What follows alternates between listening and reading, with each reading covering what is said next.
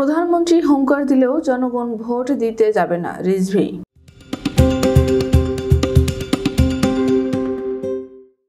একতরফা ডামি নির্বাচনের প্রচারণায় নেমে প্রধানমন্ত্রী সন্ত্রাসীদের ভাষায় হুঙ্কার দিলেও জনগণ ভোট কেন্দ্রে যাবে না বলে মন্তব্য করেছেন বিএনপির সিনিয়র যুগ্ম মহাসচিব রুহুল কবির রিজভি। আজ বৃহস্পতিবার সকালে এলিফ্যান্ট রোড ও বেইলি রোডে নির্বাচন বর্জনের লিফলেট বিতরণকালে তিনি এই মন্তব্য করেন। রিজভি বলেন, ডামি নির্বাচনের প্রচারণায় নেমে গতকাল সিলেটে প্রধানমন্ত্রী যে ভাষায় কথা বলেছেন তা হলো সন্ত্রাসীদের ভাষা। তিনি সন্ত্রাসীদের ভাষায় হুঙ্কার দিচ্ছেন। এভাবে হুঙ্কার দিলেও আগামী সাত জানুয়ারি জনগণ ভোট দিতে যাবে না। প্রধানমন্ত্রীর এত সাহস থাকলে নির্দলীয় নিরপেক্ষ সরকারের অধীনে নির্বাচন দেন না কেন? নিরপেক্ষ সরকারের অধীনে নির্বাচন তিনি দিবেন না। কারণ তিনি ভালো করেই জানেন, জনগণ ভোট দেওয়ার সুযোগ পেলে তার জামানতি থাকবে না। রাষ্ট্র শক্তিকে ব্যবহার করে ডামি নির্বাচন, নিজেরা নিজেরা নির্বাচনের আয়োজন নিয়ে বাহাদুরি করার কিছু নেই। রিজভি বলেন, আগামী সাত জানুয়ারি সাজানো ভাগ বাটোয়ারার নির্বাচন জনগণ ইতিমধ্যে প্রত্যাখ্যান করেছে। এই নির্বাচনে ওরা ছাড়া কেউ ভোট কেন্দ্রে যাবে না। বিএনপি জনসাধারণকে বলবে, ঐক্যবদ্ধ হয়ে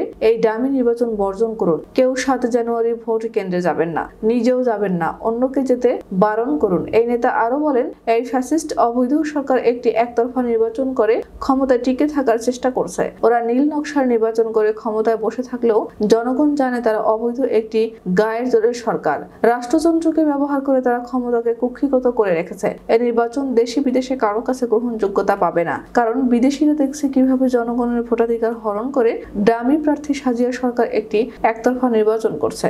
একই সঙ্গে রিজভি ধিক্কার জানিয়ে বলেন, জনগণের আকাঙ্ক্ষাকে ধুলোয় মিশিয়ে দিয়ে যারা এই অবৈধ ডামি নির্বাচনে প্রার্থী হয়েছেন, হালুয়া রুটির লোভে নির্বাচনে তারা জনগণের কাছে বিশ্বাসঘাতক দালাল হিসেবে চিহ্নিত হয়ে থাকবেন। এদিকে আজ সকাল সাড়ে আটটায় প্রথমে বিএনপির জ্যেষ্ঠ যুগ্ম মহাসচিব নয় থেকে দশ জন নেতাকর্মীকে নিয়ে এলিফেন্ট রোড এবং পরে বেইলি রোডের দোকানে ফুটপাতে পথচারীদের এবং রিক্সা সিএনজি চালক ও যাত্রীদের হাতে সাতই জানুয়ারির ভোট বর্জনের লিফলেট তুলে দেন। এ সময় বিএনপির নির্বাহী কমিটির সদস্য মাহবুবুর রহমান মৎস্যজীবী দলের সদস্য সচিব আব্দুর রহিম প্রমুখ নেতারা ছিলেন। আগামী সাত জানুয়ারি ভোট বর্জনে বিএনপি বৃহস্পতিবার, শুক্রবার ও শনিবার সারা দেশের জনসাধারণের মাঝে লিফলেট বিতরণ করার কর্মসূচি ঘোষণা করেছে।